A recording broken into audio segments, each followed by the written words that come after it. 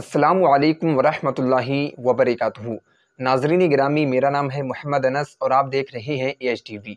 नाजरीन ग्रामी, इस वीडियो के अंदर हम बात करेंगे शिहाब चतुर के वीज़े की और शिहाब चतुर इस वक्त कहाँ पर हैं।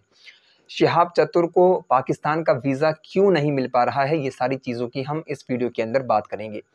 देखिए नाजरीन ग्रामी शहाब चतुर को तो आप जानते ही होंगे, जो कि बहुत ही ज़्यादा यूनिक सफ़र पर निकले हुए हैं। यानी कि इंडिया के केरला से मक्का, मदीना और जो है, यानी कि सऊदी अरबिया के लिए सफ़र कर रहे हैं। वो भी पैदल, जो कि चार हज़ार या फिर पैंतालीस सौ किलोमीटर का सफ़र बनता है। एक बहुत ही ज़्यादा अजीब व गरीब सफ़र वो कर रहे हैं, जिसकी वजह से वो बहुत ही ज़्यादा पॉपुलर हैं।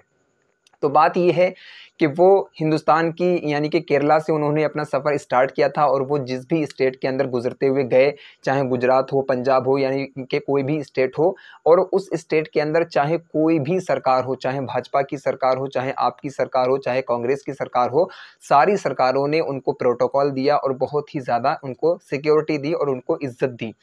तो वो सारी, यानी कि स्टेट से गुजरते हुए वो अब पहुँच चुके हैं पंजाब के अंदर और पंजाब के बागा बॉर्डर से, यानी कि उनको पाकिस्तान के अंदर एंट्री करना है और पाकिस्तान के बाद में वो अपना आगे का सफ़र करके मक्का, मदीना जाना चाहते हैं। लेकिन अब होता यह है कि जैसे ही वो बागा बॉर्डर पर पहुँचते हैं तो वहाँ पर जब वो, यानी कि पाकिस्तान के अंदर एंट्री करने के लिए अपना वीज़ा चाहते हैं तो पाकिस्तान उनको वीज़ा देने से मना कर रहा है।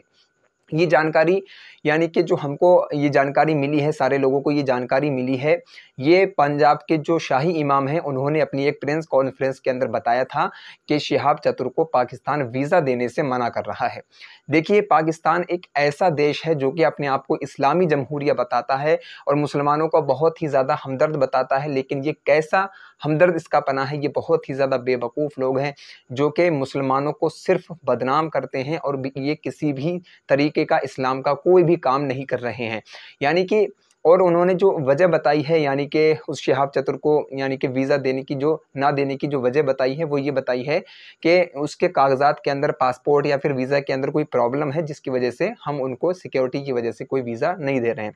देखिए, शहाब चतुर एक बहुत ही ज़्यादा अच्छे काम पर निकला है, यानी कि वो पैदल हज करने के लिए जा रहा है तो उसको वीज़ा नहीं दिया जा रहा है, ना कि वो ऐसा भी नहीं है कि मतलब यहाँ से किसी जासूसी करने के लिए जाता हो या फिर किसी और चीज़ की वजह से। तो ये कैसे पाकिस्तानी मुसलमान, बेशरम मुसलमान हैं जो कि एक, यानी कि अल्लाह तबारक वाली के